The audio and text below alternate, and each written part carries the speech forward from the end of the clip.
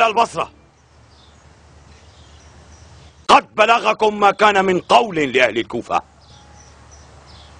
وإني لا أعيد عليكم بل أزيد. أيها الناس من أعياه داؤه فعندي دواؤه.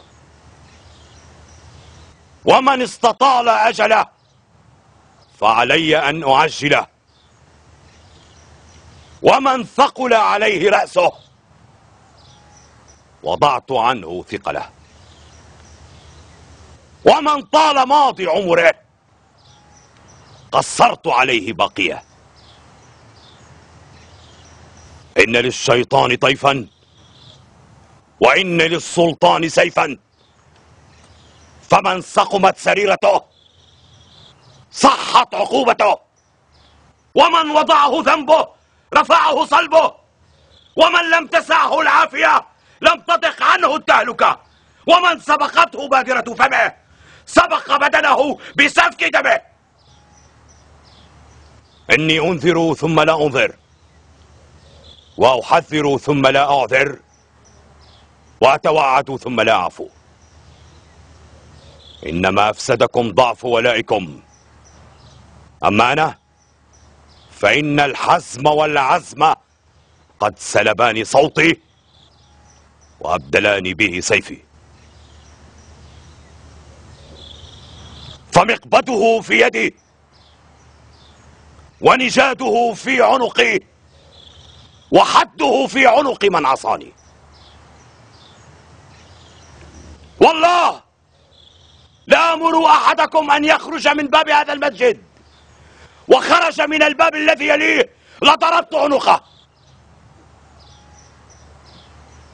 قد بلغكم ما كان من توجيه لأهل الكوفة لمحاربة الخوارج مع المؤلف. وعليكم مثل ما عليهم.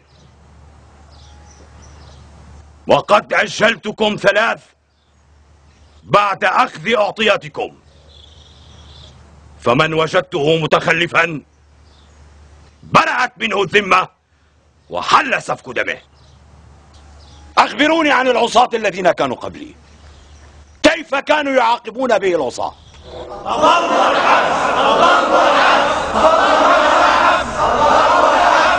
أما أنا فلا أعاقبهم إلا بالسيف.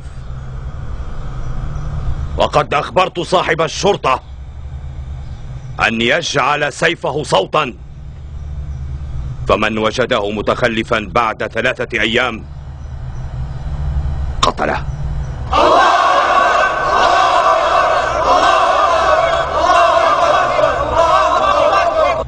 يا أهل الشقاق والنفاق إني سمعت تكبيرا ليس بالتكبير الذي يراد الله به في الترغيب لكنه التكبير الذي يراد به الترهيب. يتوقف الرجل منكم وينظر في أمره في حقن دمه ويبصر موضع نفسه ويرتدع.